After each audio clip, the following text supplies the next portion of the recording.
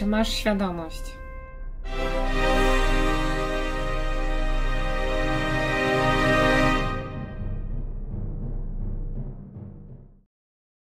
Dopóki jestem w stanie kontrolować emisję pieniądza w danym kraju, nie dbam o to, kto w nim stanowi prawo. Mayer Rothschild.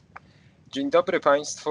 E, witam Państwa Rafał Górski w kolejnym podcaście Czy masz świadomość? E, państwa i e, moim gościem, moimi gośćmi dzisiaj, dzisiaj gościmy dwóch Piotrów, Piotr Misiurek i Piotr Jankowski.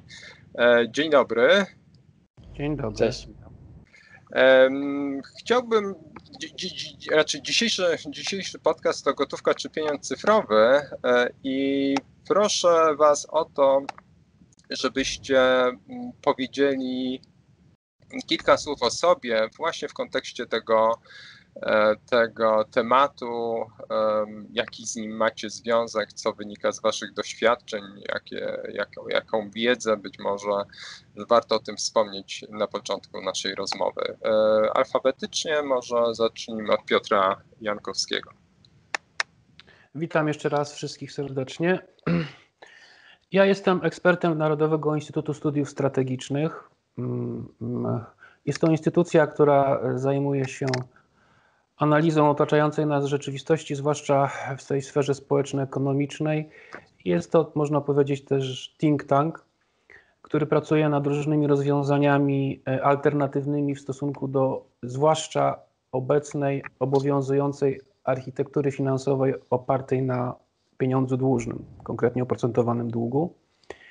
W zakres naszych zainteresowań wchodzą tematy związane z na przykład walutami lokalnymi, tutaj też zresztą uruchamiamy pewne projekty, jesteśmy w trakcie mm, prac nad tym, bankami komunalnymi, ale również kwestia gotówki jest tutaj ważnym komponentem refleksji na, na temat w ogóle architektury finansowej, zarówno w obecnym kształcie, jak i w kształcie y, y, docelowym, w kształcie, który będzie miał charakter bardziej społeczny niż ten, który, mm, e, z którym mamy do czynienia obecnie, który można powiedzieć, że jest po prostu antyspołeczny. Dziękuję. A... Piotr Misiurek. Ja jestem z pozoru trochę nie na temat, ponieważ jestem z zawodu programistą, czyli za strona technologiczna. E, ale to właśnie technologia sprawiła, że zainteresowałem się tym, jak dokładnie działa pieniądz i obecny system finansowy. A to za sprawą Bitcoina i kryptowalut, które poznałem ponad 4 lata temu. E, I oczywiście na początku była fascynacja ceną, potem fascynacja technologią, która sprawia, że możemy się właśnie oderwać um, od obecnych możnowładców tego świata i dzięki technologii możemy robić rzeczy, które do tej pory wydawały się niemożliwe, czyli na przykład łączyć najlepsze gotówki e, i pieniądza elektronicznego. Mm, I właśnie od czterech lat e, dedykuję na przykład swój wolny czas, teraz właściwie swój cały czas, edukacji na temat e, kryptowalut i jaki ta technologia ma potencjał w szerszej perspektywie. Mhm, dziękuję również. Dobrze, to zacznijmy od tytułowego e, pytania: gotówka czy pieniądz cyfrowy? E, Piotrze Jankowski, mhm. jak byś odpowiedział na to pytanie? Ja bym powiedział, e, znaczy to pytanie mi się nie do końca podoba, bo to jest pytanie, alter, które zawiera w sobie alternatywę. No. Czy, czy gotówka, czy pieniądz cyfrowy? Ja uważam, że obydwie formy pieniądza powinny istnieć na równych prawach, to znaczy żadna z nich nie powinna mieć zapewnionej jakiejś, jakiejś dominacji czy monopolu. I wszystko oczywiście ma swoje plusy i minusy. Natomiast niewątpliwe jest to, że zakusy dotyczące likwidacji gotówki, bo takie są niewątpliwie na świecie, prowadzą do ograniczenia praw obywatelskich i wolności, ponieważ gotówka jest jednym z takich narzędzi, które gwarantują nam wolność, anonimowość, gwarantują nam e, też obronę przed zakusami korporacji czy władzy, e, rabowania naszych pieniędzy. Mam tutaj na myśli wariant cypryjski, który był zastosowany e, około 10 lat temu na Cyprze, czyli zaspokajanie potrzeb kapitałowych w momencie kryzysowym przez banki z lokat i depozytów klientów. Zresztą to prawo zostało implementowane w Polsce. Jest to prawo w tej chwili już unijne. Jest to tak zwana dyrektywa bail-in. E, także e, odpowiadając najkrócej, bo pewnie jeszcze będziemy o, o szczegółowszych aspektach mówili, to e, jedna i druga forma pieniądza powinna istnieć. Natomiast jeśli chodzi o pieniądz cyfrowy, to, to jest kwestia taka, że jest to narzędzie. Jest to narzędzie, które powinno służyć ludziom, społeczeństwu, narodom, nie powinno być wykorzystywane przeciwko, przeciwko nim. E, jak z każdym narzędziem można użyć go w różny sposób, tak jak z nożem, który można, które można ukroić chleb i można kogoś uszkodzić, okaleczyć. Podobnie jest z pieniądzem mm, e, cyfrowym. E, mówię to zwłaszcza w, w, kontekście, w kontekście mm, tego, że są plany w skali globalnej wprowadzenia bankowego, przepraszam, cyfrowego pieniądza banków centralnych. O, dokładnie tak. E, ale myślę, że o tym jeszcze będziemy mówić bardziej szczegółowo. Mhm. Okej. Okay. To samo pytanie e, Piotr Misiurek, gotówka czy pieniądz cyfrowy? Mi się wydaje, że ta dyskusja może być dość nudna, ponieważ ja się w dużej mierze zgadzam z moim przedmówcą. To, ta, to, to pytanie, czy e, jest bardzo zawężające. Moim zdaniem, jako społeczeństwo potrzebujemy gotówki. E, właśnie w tych celach, o których wspomniał Piotr, potrzebujemy mieć prawo zakupywać dobra, które rząd może uważać za dla nas niedobre czy nielegalne z innych powodów. E, czy tak samo musimy mieć prawo do podejmowania decyzji ekonomicznych, które będą prywatne, o których e, nikt nie będzie wiedział, bo po prostu takie jest nasze fundamentalne prawo człowieka. Więc ja jestem dużym fanem gotówki i jedyną okolicznością, kiedy ona mogłaby zniknąć, bo też jakby gotówka jest pewną technologią, e, to będzie powstanie technologii, która będzie sprawiała, że w formie elektronicznej zachowamy wszystkie przymioty e, gotówki, czyli nikt nie będzie w stanie tego cenzurować i kontrolować. E, co jest bardzo trudne. Kryptowaluty nam dają pewne światełko w tym tunelu, ale jeszcze czeka nas daleka droga, aby było to dostępne dla 8 miliardów ludzi, a nie tylko dla wąskiej garstki osób, więc jak najbardziej gotówka powinna stać w obiegu jak najdłużej, dopóki e, inna technologia nie będzie w stanie zapewnić tych samych praw e, zwykłym ludziom, co zapewnia gotówka. Mhm. To teraz e, takie pytanie w takim razie, jakie główne podstawowe zagrożenie dla obywateli widzicie i po jednym zagrożeniu, jakbyście mogli wymienić i powiedzieć trochę, uzasadnić, skomentować ten wybór, e, zagrożenie dla obywateli z likwidacji e, gotówki. Rozumiem, że ja mam odpowiedzieć. Tak, e, otóż e, tych zagrożeń jest bardzo wiele, natomiast jeśli mam wybrać jedno, to powiedziałbym tak, e, że jeśli, istniało, jeśli istniałby tylko pieniądz cyfrowy, to mm, moglibyśmy być w każdej chwili e, odcięci od systemu i pozbawieni środków do życia, bez żadnej alternatywy. Tu już nawet nie chodzi o ten wariant cypryjski, o którym mówiłem, że mm, mm, władza czy banki mogą nam zagrabić część naszych oszczędności, ale tu chodzi w ogóle o to, że we współczesnym świecie praktycznie wszystko jest utowarowione i skomercjalizowane. I odcięcie nas w momencie, kiedy nie mamy gotówki, czyli nie mamy alternatywy, odcięcie nas y, od prądu, wyjęcie tej wtyczki, która uruchamia system, w którym jesteśmy, w który jesteśmy wpięci, spowoduje, że po prostu praktycznie przestaniemy istnieć. I to jest ogromne zagrożenie, y, dlatego że y, takie możliwości y, mm, to jest po prostu mm, władza totalitarna, to, to jest po prostu władza absolutna. I do tej pory w historii ludzkości nie mieliśmy nigdy do czynienia z możliwością tak potężnej dominacji nad obywatelem, dominacji czy, państwa i korporacji. Ale Piotrze, czy nie jest tak, jak na, na przykład pytam znajomych i oni już dawno nie płacili gotówką, mają kartę, są zadowoleni nie widzą problemu. Mm, znaczy ja, ja, też, ja też używam tego typu instrumentów, mhm. na temat, na, natomiast tu nie chodzi o to, żeby je, ograni je ograniczać administracyjnie czy likwidować. Chodzi o to, że musi być wolność i musi być alternatywa. Dlatego, że jeśli nie będzie, jeśli będziemy mogli płacić tylko pieniądzem cyfrowym, to w każdej chwili tak jak powiedziałem, można nas od, od systemu odłączyć, można, e, można, nam za, e, można nam zagrabić część oszczędności, można wprowadzić ujemne oprocentowanie obligatoryjne, czy cokolwiek innego. Znaczy jesteśmy po prostu na łasce i nie, niełasce władzy e, absolutnej. Więc tu chodzi o, o to, że e, sam fakt istnienia gotówki i wolności zamiany czy decyzji wyboru, czy posługuje się w danym momencie gotówką czy pieniądzem cyfrowym, powoduje jakościową zmianę.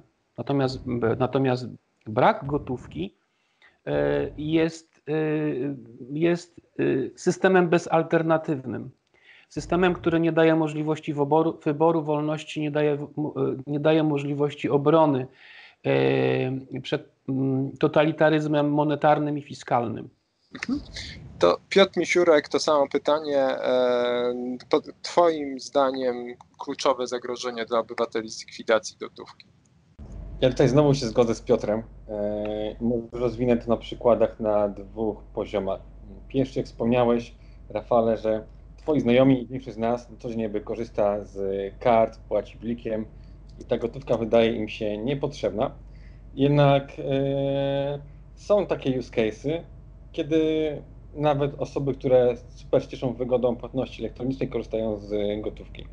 I to są na przykład use cases, w których e, państwo mówi, że czegoś nie możemy kupić, nabyć, bo jest to z różnych powodów nielegalne. Czyli na polskim podwórku pewnie najpopularniejszym use case'em będzie zakup trawki. E, I trawki nie możemy kupić dylera kartą, a jeżeli to będziemy robić, no to szybko system dowie się o tym i, i my, i nasz e, zaopatrzyciel będą mieli problemy. E, I teraz też możemy powiedzieć, dobrze, ale to jest nielegalne, nie powinno mieć miejsca. No i teraz musimy zdać sobie sprawę, że rząd i władza jako taka nie ma moralnego absolutu, co jest moralnie właściwe, a co nie. I my jako jednostka musimy mieć ten wybór. I idąc krok dalej, jeżeli na przykład nie byłoby gotówki, mm, już obecnie i rząd chciałby prowadzić super lockdown, to mógłby wszystkich operatorów, nie wiem, restauracji, sklepów odłączyć od systemu, że po prostu nie byli w stanie przyjąć płatności za świadczone usługi. I wtedy żadna forma sprzeciwu obywatelskiego nie miałaby racji bytu. E, idąc dalej, patrząc na historię naszego kraju, która nie była łatwa, była dość bolesna, mieliśmy zabory, okupację niemiecką, potem e, sowiecką i w każdym z tych czasów historii mieliśmy pełne formy opozycji e, i te działania też muszą być jakoś finansowane. Jeżeli nie mamy gotówki, którą możemy użyć po cichu, bez wiedzy e, władzy, czyli w tym przypadku naszego wroga, wtedy właściwie nie możemy tworzyć konspiracji, nie możemy e, tego finansować i wszelkie maści powstania listopadowe, powstanie warszawskie, Armia Krajowa czy Solidarność właściwie nie powstałyby, bo nie byłoby jak tego wszystkiego finansować, więc to ma znaczenie fundamentalne na podstawie wolności pojedynczej jednostki, żeby mogła dokonać transakcji ekonomicznych, które władze z jakiegoś powodu uważają za nielegalne, e, a z drugiej strony, żeby większe grupy społeczności, narody również mogły stanowić o sobie i stawać w opozycji wobec silniejszych. E, dobrze, a to przejdźmy teraz do e, pieniądza cyfrowego. Jakbyście laikowi mieli wytłumaczyć, co to jest w ogóle ten pieniądz cyfrowy, pojawiają się takie terminy jak kryptowaluta, jak bitcoiny, waluty wirtualne. O co tutaj w tym wszystkim chodzi? Piotr Jankowski. Tak, tak. Już pieniądz cyfrowy jest mm, środkiem płatniczym, można najkrócej powiedzieć, który przy pomocy którego są realizowane y, transakcje, ale w formie elektronicznej czy cyfrowej, czyli za pomocą karty, komórki itd., tak itd. Tak czyli nie występuje on w formie fizycznej, w formie gotówki, czyli nie występuje w formie mm, monet i banknotów. Tak najkrócej to można określić. Czyli krótko mówiąc, musi być przypięty czy wpięty do jakiegoś systemu rozliczeniowego, Najczęściej są to systemy bankowe. ale w momencie, kiedy będzie wprowadzona gotówka cyfrowa banków centralnych, to będą bezpośrednio banki centralne. Czyli krótko mówiąc, jest to metoda płatnicza, metoda transakcyjna, która opiera się na technologiach cyfrowych. To takie najkrótsze, chyba najprostsze, naj, najprostsza odpowiedź. Piotr Misiurek? E, znowu się zgadzam, nie mam bardzo z czym polemizować. Dam tylko może zalety, które daje nam e, cyfrowa forma pieniądza, dlaczego nasi znajomi i my sami tak chętnie z nich korzystamy.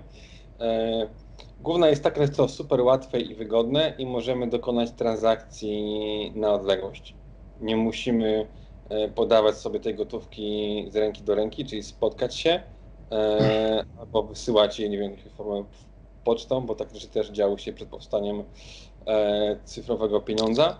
Więc to na pewno super wygodne, ale w obecnym ujęciu ma bardzo duży man mankament, mianowicie jest to bardzo łatwe do kontrolowania, kontrolowania i te narzędzia kontroli są tam na wielu różnych aspektach.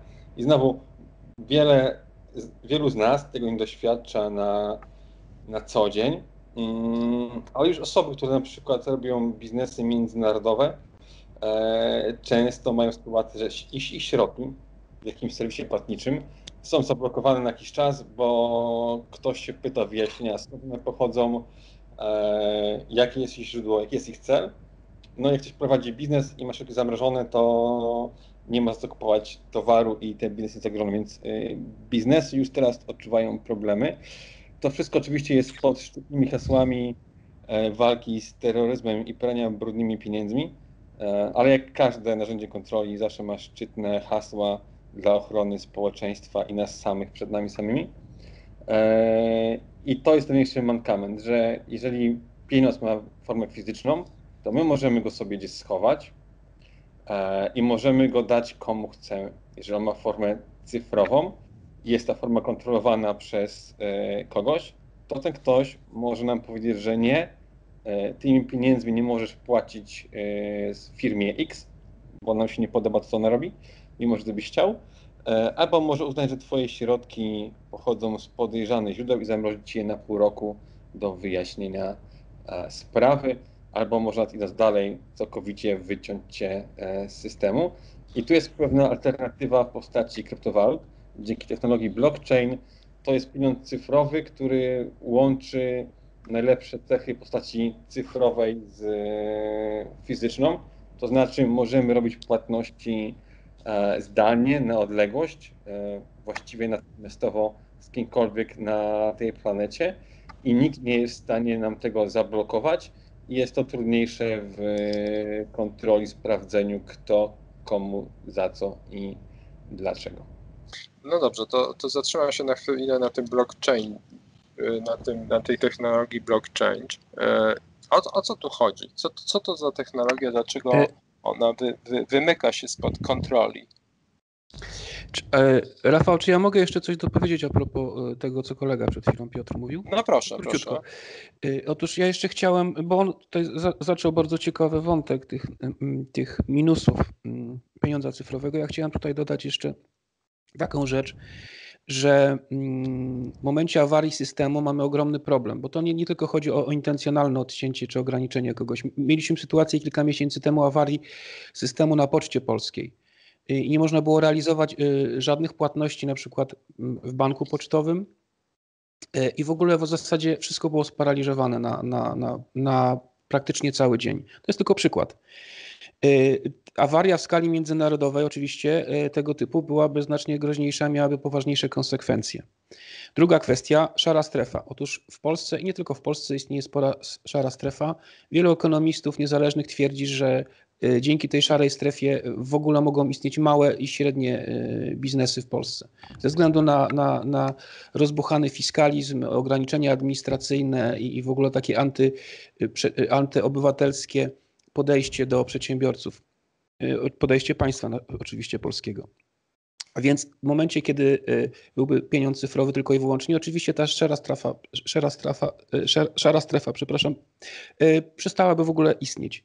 No i jeszcze, jeszcze jest jedna, jedna kwestia, oprócz tej kontroli i wiedzy o wszystkich naszych transakcjach, w zasadzie o całym, całym naszym życiu, o naszych preferencjach, zakupowych, ale tak naprawdę można z takich danych wnioskować o naszych poglądach, o wielu, wielu rzeczach. I e, taki, tego typu system pieniądza cyfrowego daje możliwość e, narzucania pewnych ograniczeń terytorialnych, czasowych, przedmiotowych w operowaniu tego typu e, pieniądzem. Może na przykład ograniczać, ograniczać prawa jednostki, grup, grup społecznych. Mamy taki przykład w Ujgurii w Chinach, gdzie Y, jest wprowadzony system monitorowania, e, skanowania twarzy i pełnej kontroli obywateli, który jest sprzężony też y, z systemem finansowym. I to mm, owocuje tym, że na przykład idzie ktoś kupić bilet lotniczy, nagle się okazuje, że niestety nie może, ponieważ ma za mało punktów jako obywatel i jest nacenzurowanym. Krótko mówiąc, sprzężenie tego typu systemów oceny i punktacji e, z systemami finansowymi e, pieniądza cyfrowego jest niezwykle groźne i jest, jest w zasadzie, można powiedzieć, e, pewnym uosobieniem totalitaryzmu współczesnego. A takie zagrożenia są według mnie bardzo realne, zwłaszcza w kontekście tych planów, o których mówiłem wcześniej, o których może jeszcze później kilka słów powiemy. Dobrze, to wrócę na chwilę do Piotra Misiurka y, i y, do tego pytania y, o tą technologię blockchain. Co, co się kryje za tą technologią? Co ona, co, co, co ona oznacza? Ja może nie będę wchodzić za bardzo w szczegóły technologiczne. Bardziej może powiem wysokopoziomowo, jaka jest największa różnica pomiędzy kryptowalutami a pieniądzem cyfrowym w bankach czy systemach płatności. E, Chyba zaraz, żeby jeszcze, przepraszam, zrozumieć. Kryptowaluty to jest coś innego niż pieniądz cyfrowy, tak? E, można powiedzieć, że to jest jeden z rodzajów pieniądza cyfrowego. Kryptowaluty, tak? Tak, tak, tak. I Czym one się różnią od tego pieniądza, który mamy na naszej aplikacji mobilnej banku, czy gdy dokonujemy płatności blikiem bądź kartą? Różni się tym, gdzie jest zapisana informacja o naszym saldzie, nazwijmy to bankowym, naszych środkach i kto ma kontrolę nad tą informacją i nad tymi środkami. E, kryptowaluty są oparte o blockchain i jest to jakby technologia mm, baz danych e, w dużym uproszczeniu. I polega ona na tym, że nie mamy jednej kopii baz danych, nad którą kontrolę sprawuje jedna instytucja, bank czy, czy rząd, tylko mamy dowolną ilość kopii, każdy może ją przechowywać na swoim komputerze i żeby dokonać jakiejś zmiany, możemy dokonać się tylko e, w przyszłości. Możemy tylko tworzyć nowe transakcje, nowe rekordy, nie możemy modyfikować już tych e, wcześniejszych i tylko osoba, która posiada klucz prywatny do danego konta, nazwijmy to powiedzmy hasłem, może korzystać ze swoich środków, nie ma żadnej instytucji, e, żadnego narzędzia, że ktoś z zewnątrz może nasze środki zablokować albo zabronić nam dokonywania transakcji. Czyli z perspektywy użytkownika, mm, mój pieniądz na blockchainie jest tylko i wyłącznie mój. Nikt nie jest w stanie mi go odebrać e, i nikt nie jest w stanie mi zablokować transakcji. Mogę płacić komu chcę, za cokolwiek chce i nikt nie ma prawa, nie ma możliwości fizycznej e, zablokowania tego, bo przecież rządy mogą tworzyć sobie prawo, ale w tym przypadku nie są w stanie go wyegzekwować, ponieważ sieć jest utrzymywana nie przez jedną firmę, czy na 10, tylko przez tysiące komputerów na całym, na całym świecie i nie wiadomo do których drzwi zapukać, e, żeby to prawo próbować wyegzekwować. E, a na tym byśmy chcieli, to po prostu kryptografia nie pozwala na tego typu rzeczy. Jakby prawa matematyczne są nad prawami e, ludzkimi. Czy masz świadomość? Dostarczamy Ci treści bez cenzury i bez reklam. Potrzebujemy Twojego wsparcia. Dorzuć się do mediów obywatelskich. Wpłać darowiznę. Link do wpłat znajdziesz w opisie do podcastu. Słuchaj, myśl, działaj. To jeszcze tutaj dopytam, bo właśnie ta kwestia infrastruktury, czyli na, na czym, na jakiej infrastrukturze opiera się, opierają się te kryptowaluty? z czego to korzysta w sensie takim? No bo jeżeli mamy pieniądz cyfrowy, hmm. nie wiem, mam w banku czy na karcie, no, to, to, to rozumiem, że to korzysta z infrastruktury banku, e, on ma jakieś serwery i tak dalej, a w przypadku kryptowalut? E, to jest jak? trochę inaczej. E, ta infrastruktura jest rozproszona właściwie na całej planecie działa trochę zbliżenie do tego, jak działają, czy działały wcześniej sieci BitTorrent, że ludzie uruchamiają na swoich komputerach e, aplikacje i świadczą usługi jakby na rzecz innych osób, czyli nie ma jednego serwera czy jednej farmy serwerów, gdzie są te wszystkie informacje, po prostu poszczególne osoby, które korzystają z sieci, które widzą w nim wartość, instalują sobie oprogramowanie E, i przechowują razem z tysiącami innych użytkowników tą samą wersję baz danych, gdzie są salda i razem z innymi e, pilnują bezpieczeństwa. I to jest największa różnica, że każdy się może dołączyć i każdy może brać w tym udział, a nikt, jako pojedyncza osoba nie ma kontroli nad e, działaniem sieci. Każdy ma jedynie kontrolę nad swoimi własnymi środkami. Mhm. A czy mógłbyś powiedzieć po prostu jakiś taki przykład z życia? No bo ja sobie dalej trudno mi sobie wyobrazić, że, że można operować takim pieniądzem w życiu takim codziennym. E, ja na przykład e, na chwilę się przeprowadziłem i wynajmując mieszkanie zapłaciłem za to kryptowalutą. E, więc można płacić ludziom za ich usługi, które świadczą na naszą rzecz. E, e, ale myślę, że największy mm, use case to jest właśnie bycie w kontrze do obecnego systemu finansowego. Czy to z obawy o to, że może wystąpić powtórka z wariantu cypryjskiego i nasze środki w banku e, będą zagrożone. Jeżeli te same środki przechowamy na blockchainie, nawet w formie stablecoinów e, dolara, czyli de facto nie kryptowalut, to już tam maski systemu do nas nie sięgną. E, a z drugiej strony obawa o utratę wartości e, fiatów spowodowane obecną sytuacją finansową na świecie i dodrukiem pieniądza. Więc myślę, że na chwilę obecną mało kto używa kryptowalut do płacenia za coś na co dzień, bo to też jest dość drogie. To, że nikt nie ma kontroli nad e, systemem, sprawia, że utrzymanie go jest dość drogie Dlatego korzystanie z niego też jest dość drogie. Na przykład no, kawy w Starbucku jest znacznie nieopłacalne, bo opłata za dokonanie transakcji może być wyższa niż wartość e, tej kawy, którą kupujemy. E, ale już do przechowywania większej wartości jest to świetne narzędzie.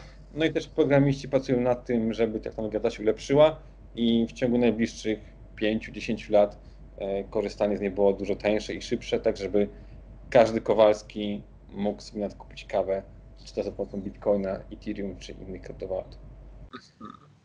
Dobrze, to teraz e, ja za chwilę wrócę jeszcze do tego, do tego wątku. Natomiast Piotrze, mm, Piotrze, tutaj mhm. się do Piotra Jankowskiego. Tak, tak, tak. Się. Na, na, na chwilę wrócę do tego cytatu z Rothschilda, który za, zaprezentowałem na początku audycji. Dopóki jestem w stanie kontrolować emisję pieniądza w danym kraju, nie dbam o to, kto w nim stanowi prawo. Czy mógłbyś e, skomentować to? Jest, jest to bardzo znany cytat, który się pojawia w bardzo wielu publikacjach.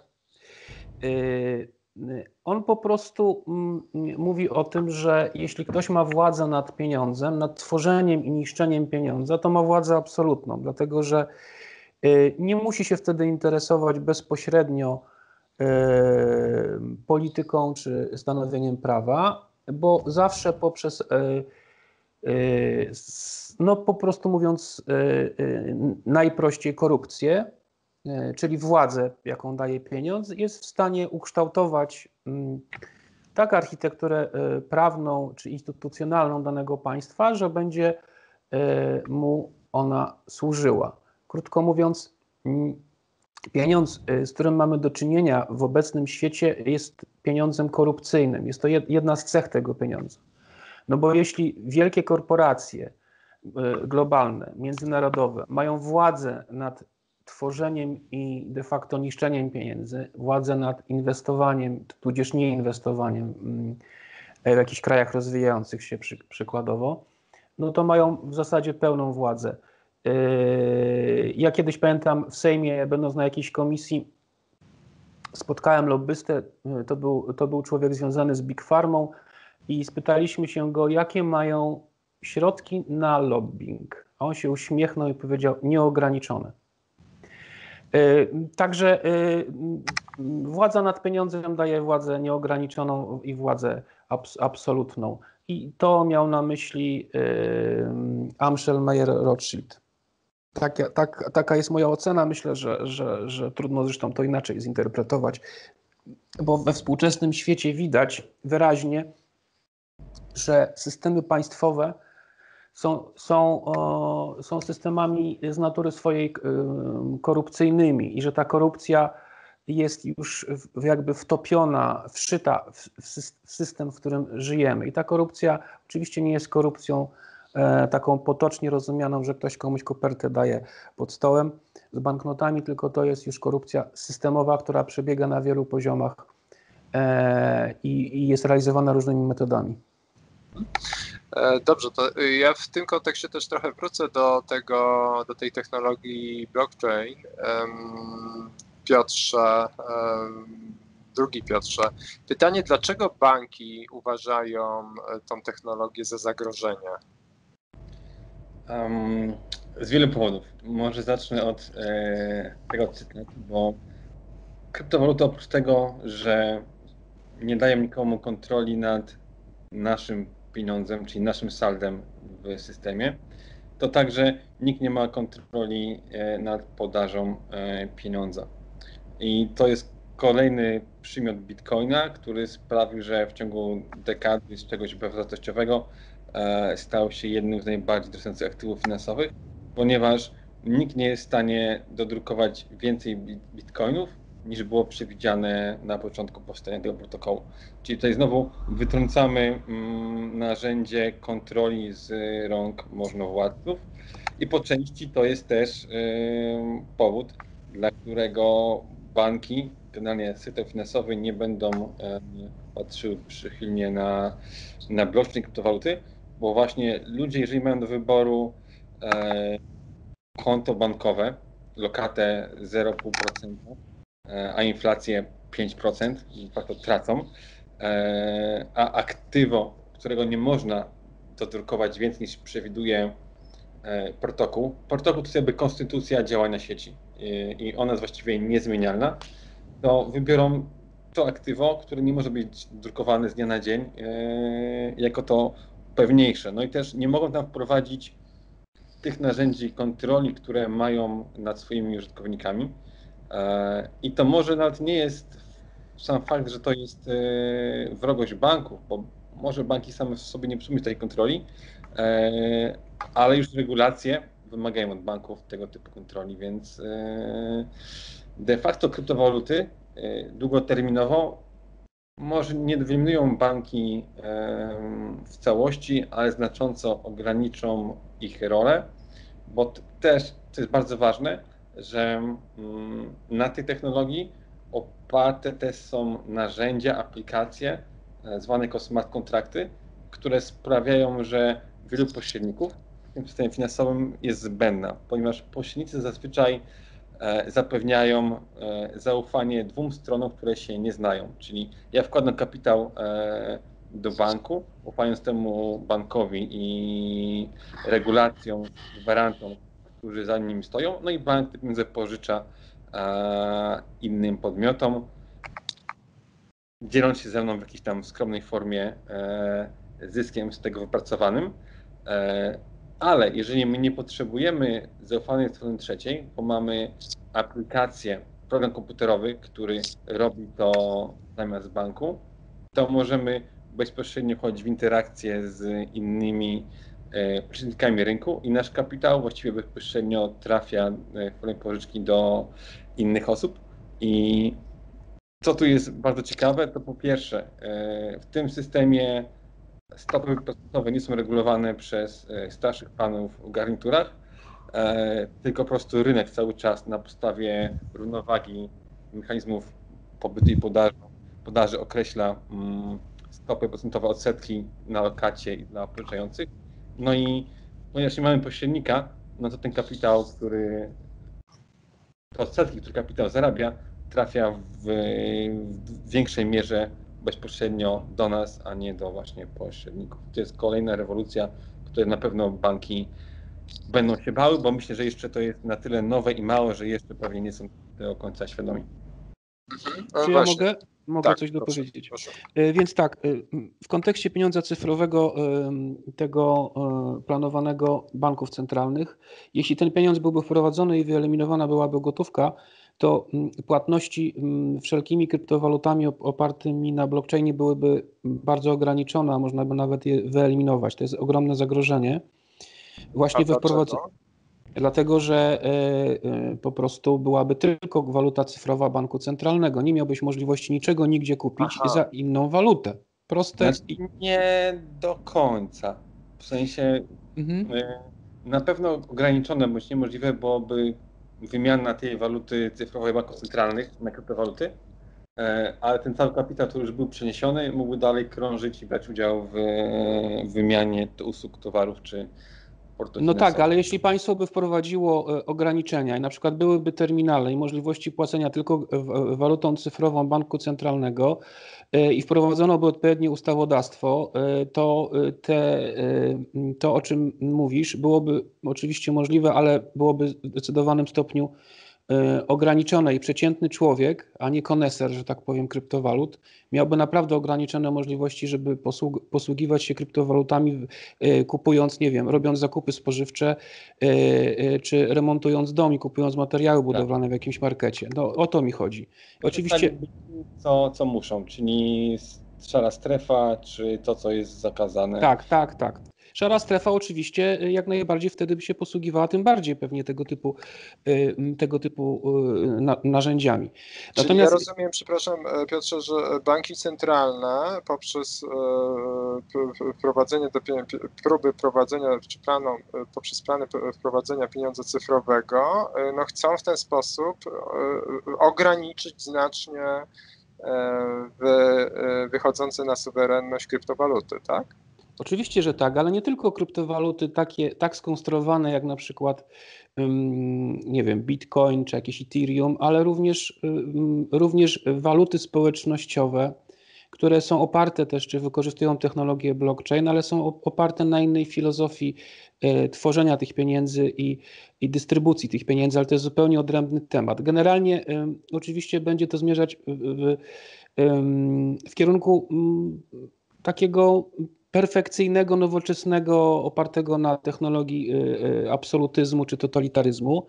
I, i wtedy, wtedy generalnie wszystkie pomysły alternatywne związane z pieniądzem będą jakby w zarodku eliminowane. A, y, czy przynajmniej będzie próba na pewno bardzo skuteczna e, eliminacji tego typu pomysłów i tego typu planów, tego typu projektów. Natomiast chciałem zwrócić jeszcze jedną, na jedną rzecz uwagę. Otóż banki się bardzo interesują technologią e, blockchain i na pewno też pracują, a myślę, że są nawet kryptowaluty, które są powiązane z bankami. E, to jest jedna kwestia. Natomiast druga jest taka, że mm, już oligarchia międzynarodowa, finansowa, ten wielki kapitał międzynarodowy już sobie e, wypracował narzędzia też pośredniej kontroli nad tym rynkiem, bo przypominam, że mniej więcej jakieś 3 lata temu zostały uruchomione instrumenty pochodne na, e, na bitcoina i w zasadzie można powiedzieć, że rynek kryptowalut, e, ten giełdowy, który jest sprzężony, jakoś zawsze się to wszystko, wszystkie te kryptowaluty praktycznie przelicza na bitcoina, jest w dużym stopniu manipulowany przez, y, y, przez możnych tego świata, przez największe banki inwestycyjne. I dlatego między innymi mm, skoki na, na bitcoinie też na innych kryptowalutach są tak, tak gigantyczne, bo tam w ciągu jednego dnia zmiana wartości może, może być na poziomie na przykład 20%. Czyli krótko mówiąc, są to waluty spekulacyjne. E, I teraz tak, e, oczywiście zgadzam się z tym, że one w dłuższym terminie czasu mogą się na, na, nadawać do przechowywania, magazynowania wartości. Dlatego, że waluta, która ma w związku z tym protokołem, o którym mówiłeś, ograniczoną liczbę jednostek docelową, oczywiście będzie podlegała zjawiskom w dłuższym terminie czasu deflacyjnym, w krótszym oczywiście spekulacja, o, którym, o której mówiłem. Natomiast pieniądz ma jeszcze dwie y, funkcje, y, oprócz funkcji tezauryzacyjnej, czyli to, tego przechowywania własności, oszczędzania, jakby tego nie nazywać, ma jeszcze dwie bardzo ważne funkcje, mianowicie funkcję transakcyjną i mierniczą. Czyli, czyli krótko mówiąc, to, co dotyczy wszystkich na co dzień. E, to, że pieniądz e, jest jak, jak w jakiś sposób wartościuje produkt e, poprzez cenę, czy jest takim narzędziem, które to umożliwia i umożliwia transakcje i społeczny podział pracy. I teraz i w tym momencie y, kryptowaluty, typowe kryptowaluty y, są trudne do zastosowania, no bo wyobraźmy sobie sytuację, że budujemy dom i rano kąt prosty ma 90 stopni, a po południu ma 100, a wieczorem ma 120. No więc my nie możemy y, w normalnej, realnej gospodarce posługiwać się narzędziem, które jest tak podatne na spekulacje, e, jak na przykład Bitcoin. Więc tutaj można w oparciu o tego typu technologie proponować inne rozwiązania, jakby uzupełniające ten rynek kryptowalut. Takie rozwiązania, które będą szły właśnie w kierunku e, wdrożenia społecznego pieniądza czy quasi pieniądza, e, który będzie spełniał te dwie podstawowe funkcje, o których przed chwilą powiedziałem, czyli tą funkcję transakcyjną i tą funkcję mierniczą. A jak masz na myśli pieniądz społeczny, to co, co się za tym kryje? No, to się za tym kryje, że pieniądz y, jest podstawowym elementem dobra wspólnego, dlatego że jest taką podstawową infrastrukturą mm, e, ogólnie społeczno-użyteczną, która zapewnia uczciwość obrotu gospodarczego. Mhm. E, I pieniądz powinien być emitowany y, w imieniu, na rzecz i w interesie społeczności, którą obsługuje. No, w tym wypadku mówimy na przykład o Polsce, czyli o naszym kraju. E, I pieniądza według, y, bo my tutaj bardziej mówiliśmy do tej pory o, o technologii i o za, pewnych zagrożeniach, plusach i minusach itd., tak itd. Tak Natomiast y, jeśli byśmy głębiej do tematu pieniądza podeszli, to musielibyśmy o, o pewnej filozofii społecznej opowiedzieć. E, po co jest pieniądz i jakie, na jakich e, zasadach powinien się opierać. Ja bym tutaj użył takiego bardzo prostego porównania do krwiobiegów w organizmie ludzkim. E, krwi powinno być w organizmie ludzkim w sam raz, ani za dużo, ani za mało. Mm, bo jak jest za mało, to, to jest jakieś, nie, jakaś niedokrwienność, jak jest za dużo, może być wylew i tak dalej, i tak dalej. Czyli krótko mówiąc, przekładając to na język ekonomii, def, e, inflacja i deflacja. Czyli jak jest za, za, mało pieniądza, to jest deflacja, to jest bardzo złe dla gospodarki, jak jest za, za dużo pieniądza, e, też jest bardzo źle, jest inflacja. I teraz są teorie ekonomiczne, zresztą między innymi związane z polskimi wybitnymi ekonomistami między, z okresu międzywojennego, między innymi Jerzym Zdziechowskim, które mówią o tym, że pieniądz powinien być emitowany na zasadzie parytetu gospodarczego, czyli adekwatnie do e, potencjału gospodarczego, e, potrzeb realnej gospodarki i również szybkości obrotu tego pieniądza w danym momencie. E, I tak pojęty pieniądz jest pieniądzem publicznym, jest dobrem publicznym. E, więc my w tej chwili, w sytuacji, jakiej jesteśmy, raczej nie możemy liczyć na to, żeby tak e, skonfigurować pieniądz w oparciu o instytucje państwowe i instytucje obecnych banków centralnych, bo akurat to wszystko idzie w zupełnie innym kierunku, więc my możemy co najwyżej próbować e, realizować projekty alternatywne, czyli społeczne czy społecznościowe waluty mhm. które A będą mógłbyś... budowały wspólnotę w oparciu o pewne uczciwe relacje. No właśnie, bo y, gdzieś y, wasz instytut y, zaczyna, czy planuje wdrożyć projekt waluty Huzar. Czy mógłbyś krótko opowiedzieć, o co tu chodzi? Tak, tu chodzi o to, żeby wprowadzić taki społeczny środek transakcyjny na zasadzie rozdania go chętnym i żeby uruchomić ukryty, y, niewykorzystany potencjał y, czasu, usług, produktów, które w tej chwili w Polsce i który w tej chwili w Polsce istnieje, a istnieje on z dwóch powodów. Po pierwsze, z zablokowania gospodarki przez restrykcje, z jakimi mamy obecnie do czynienia, a drugi powód jest taki, że mamy do czynienia ze zjawiskiem, które się nazywa głód monetarny, czyli niedoborem pieniądza na rynku, który jeszcze jest pogłębiany przez obecną sytuację, dlatego że nawet jeśli przedsiębiorcy mają pieniądze, to z reguły chowają je w tej chwili na czarną godzinę, więc tym bardziej brakuje tego pieniądza w obiegu. Więc krótko mówiąc, chodzi o budowanie społeczności opartej na uczciwym środku wymiany, który de facto nie będzie pieniądzem, bo nie będzie ani walutą wymienialną, ani nie będzie, nie będzie oprocentowanym długiem, czyli nie będzie towarem. E, to jest zupełnie nowa filozofia, gdzie, mm, gdzie pieniądz, a właściwie quasi pieniądz, bo mówię, nie spełnia on definicji współczesnego pieniądza, jest y, elementem budowania wspólnoty opartej na uczciwości, Y, i wolności y, wymiany gospodarczej. I to ma być właśnie środek, który będzie przede wszystkim służył tym dwóm funkcjom. Funkcji mierniczej i transakcyjnej, no oczywiście społecznego podziału pracy. E, tak w telegraficznym skrócie, bo temat jest bardzo rozległy i właśnie wymagałby mhm. zupełnie odrębnego potraktowania. E, dobrze, wrócę teraz do Piotra Misiurka mm, i pytanie jest takie tu od jednego z internautów na Twitterze, mm, kiedy zbierałem pytania do tej, e, do tej audycji. Jak propagujesz wiedzę i świadomość o kryptowalutach wśród rodziny i znajomych i jak zmieniło się ich podejście do tego zagadnienia w ostatnich latach? Świetne pytanie. Zacznę od tego, że propaguję ją jakby publicznie i jakby nikogo nie namawiam, że musisz coś zrobić, że mm, jakby motywacja poprzez y, zmuszanie kogoś nacisku zwyczajnie nie działa, więc jakby staram się pierwsze um, sprawić, żeby te osoby posiadały kryptowaluty. Jeśli jest jakaś okazja urodziny, ktoś bierze ślub, to zazwyczaj prezent ode mnie to będzie w formie e, kryptowalut po prostu patrzę, czy to kiełkuje i jak ktoś ma ochotę wejść głębiej, to zaczyna konwersację e, i wtedy pomagam mu wejść w to głębiej. Mm, ale generalnie rzucam po prostu publicznie ziarno i patrzę, kto podłapie. Jak ktoś podłapie, to staram się wtedy pomóc e, w to wejść. Na razie oczywiście mm, generalnie na tym rynku większość ludzi jest dlatego, ponieważ z tej funkcji e, spekulacyjnej duże stopy zwrotu, e, pozornie łatwy pieniądz, więc to jest coś, co przyciąga większość osób.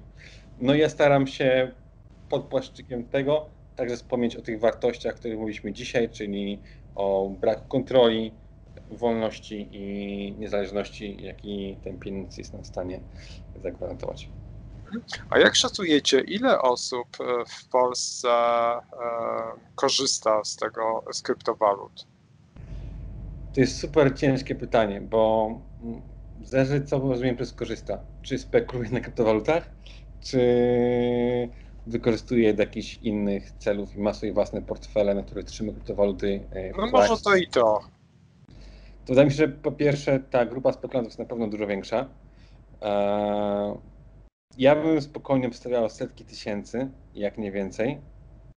E, ta druga grupa stanowi jakieś, jakiś procent tej pierwszej, raczej kilkadziesiąt tysięcy bym e, w tym kierunku bardziej się skłaniał. Dobrze, to e, bo zbliżamy się powoli do końca. Ja bym jeszcze zapytał o jedną rzecz, ale zanim zapytam, to wprowadzenie mm, z plus minus dodatku Rzeczpospolitej e, pod tytułem Internet Twój szkodnik powszedni. Cytat. Już w zeszłym roku wirtualne waluty odpowiadały za 20 megaton emisji CO2, mniej więcej tyle, ile generuje milion lotów transatlantyckich. A lotnictwo jest jednym z największych trucicieli na świecie. Szkodzi klimatowi bardziej niż około 1,5 miliarda samochodów jeżdżących po drogach całego globu. Co odpowiecie e, na e, zarzuty związane z kryptowalutami, e, które dotyczą ich wpływu na politykę energetyczną, na, energetycz, na energetykę? Mogę? Mhm. Otóż ja nie jestem związany generalnie z, z, rynkiem kryptowalut, więc raczej tutaj jestem troszkę osobą z boku patrzącą w ogóle na gospodarkę i również kryptowaluty. Natomiast zauważam absolutnie ten problem, ponieważ waluty, które są kopalne, kopalne na przykład, czyli, czyli mógłbyś to wytłumaczyć słuchaczom? Czyli chodzi o to, że trzeba uruchomić we własnym komputerze, czy tam komputerach, czy serwerach moce obliczeniowe, na które są potrzebne ogromne ilości energii, y, żeby wykopać, czyli jakby za pomocą algorytmów y, pozyskać y, jakąś jednostkę takiej kryptowaluty. Tutaj kolega Piotr może jakoś bardziej sprawnie czy precyzyjnie to zdefiniuje. Natomiast krótko mówiąc chodzi o to, że jedną z metod podstawowych pozyskania kryptowaluty, na przykład bitcoina jest jest y, mm, zaangażowanie ogromnych ilości mocy obliczeniowych, które wymagają ogromnej ilości energii elektrycznej. Mhm. E, y, ale chciałem powiedzieć y, równocześnie jakby na obronę blockchaina, że przecież nie wszystkie waluty mogą, muszą być tak skonfigurowane, czy mieć takie protokoły, bo można wymyślać inne metody dystrybucji walut opartych na, na tej technologii. E, to dotyczy właśnie tej, tej, tej części e, mm, e, kopalnych walut i jest to niewątpliwie bardzo, bardzo negatywna czy ciemna strona właśnie tego, tego trybu czy sposobu wykorzystania tej technologii. Myślę, że kolega Piotr coś więcej na ten temat powie, także mm, Piotrze. słuchamy. Bardzo, bardzo chętnie, więc może w ogóle zacznę, do czego nam ta energia potrzebna. Na czym polega to kopanie? E, skutkiem kopania jest wydobycie nowych monet, dajmy to bitcoina, ale to jest jakby skutek. Celem jest zabezpieczenie sieci. Im większa moc obliczeniowa, nazwijmy to kopie mm, bitcoina, zabezpiecza sieć, tym trudniej jest dokonać wszelkie maści e, ataków na nią, więc te środki są tam bezpieczniejsze. Więc de facto im większa moc obliczeniowa, ten system jest e, bardziej bezpieczny. I rzeczywiście ilość tej energii elektrycznej, która jest y, wykorzystywana do utrzymania bitcoina i innych krypto jest coraz większa i zaczyna być zauważalna. I ja tu widzę jakby właściwie trzy rzeczy, o których warto wspomnieć. E, po pierwsze, od paru lat mamy trend, żeby kryptowaluty nie wykorzystywały już mechanizmu proof of work, który właśnie wykorzystuje sprzęt i energię elektryczną, tylko proof of stake, który wykorzystuje już istniejące monety do zabezpieczenia e, sieci. I tam już nie mamy aż takiego zużycia energii. E, po drugie, mm, należy rozpatrzyć to w kontekście tego, co dostajemy w tej cenie. Czyli dostajemy pieniądz, który jest niekontrolowany przez żadną instytucję, który jest pewnym sensie jakimś gwarantem bezpieczeństwa i wolności. I teraz oczywiście w kontekście Bitcoina pojawiają się tego typu artykuły. E, ja jestem ciekawy, e, ile energii zużywa korzystanie z Instagrama czy Facebooka e, i jaką to wnosi wartość do społeczeństwa. Mm, no i trzeci aspekt to zwiększone zapotrzebowanie na moc obliczeniową jak najmniejszym kosztem, bo też osoby, które kopią bitcoina czy inne kryptowaluty muszą ten prąd zapłacić, więc oni chcą go zużywać jak najmniej i w wyniku otrzymać jak najwięcej mocy obliczeniowej. Więc y, to też przyspiesza innowacje w tym obszarze bardziej wydajnych układów e, obliczeniowych i długoterminowo może to doprowadzić do tego, że e, generalnie urządzenia, które korzystamy, będą bardziej wydajne, a z drugiej strony będziemy mieli silny nacisk, aby przejść ku odnawialnym źródłom energii. Więc jest to pewien problem, e, na który należy spojrzeć z kilku płaszczyzn i nie jest on taki jednoznaczny, jak jest przedstawiany w nagłówkach prasowych. Dobrze, dziękuję. Czy ja, tak? Czy ja mogę na koniec y, jeszcze dwa czy trzy zdania, bo wydaje mi się, że jedną rzecz warto powiedzieć. Otóż jesteśmy y, po inauguracji i zaprzysiężeniu mm, prezydenta nowego w Stanach Zjednoczonych e, i dzieją się bardzo istotne rzeczy, między innymi w kontekście tego, o czym rozmawialiśmy, mianowicie wchodzi z większym impetem projekt Central Bank Digital Currency, czyli tych walut cyfrowych banków centralnych. W Stanach w zeszłym roku uchwalono ustawę Banking for All Act, na mocy której każdy obywatel będzie miał w banku centralnym, czyli w Fedzie, swoje konto.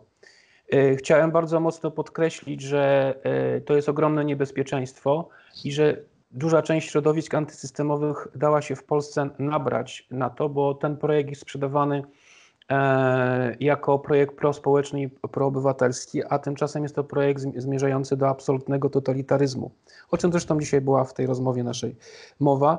Wydaje mi się, że warto by było o tym też w przyszłości porozmawiać, tym bardziej, że z tym się wiąże jeszcze jedna ciekawa rzecz, mianowicie y, będziemy powoli obserwowali odchodzenie od, od pieniądza dłużnego tego, do którego się przyzwyczailiśmy, dlatego że on wypełnił już swoją historyczną funkcję, to znaczy pierw rabował naszą pracę, a później e, nasze majątki i w tej chwili jesteśmy na, na, na etapie likwidacji klasy średniej. Jak nie będzie klasy średniej i praktycznie własności w rękach prywatnych, to wtedy ta waluta banków centralnych będzie e, narzędziem absolutnej e, kontroli i, i permanentnej, niczym nieograniczonej władzy. Podkreślam to, bo wydaje mi się to w tym momencie historycznym, w którym jesteśmy, e, bardzo istotne. Dobrze, w tym miejscu postawmy kropkę. Mhm. E, tematu nie wyczerpaliśmy, pewnie do niego będziemy w przyszłości wracać. E, dzisiaj Państwa i moim gościem był Piotr Misiurek oraz Piotr Jankowski. Dziękuję Wam bardzo za rozmowę. Dziękuję Dzięki również. Dziękujemy za uwagę i do usłyszenia w następnej audycji Czy masz świadomość? Wszystkich naszych podcastów możesz słuchać na portalu Instytut Spraw Obywatelskich.pl oraz na kanałach Instytutu Spraw Obywatelskich w serwisach YouTube i Spotify. Słuchaj, myśl, działaj.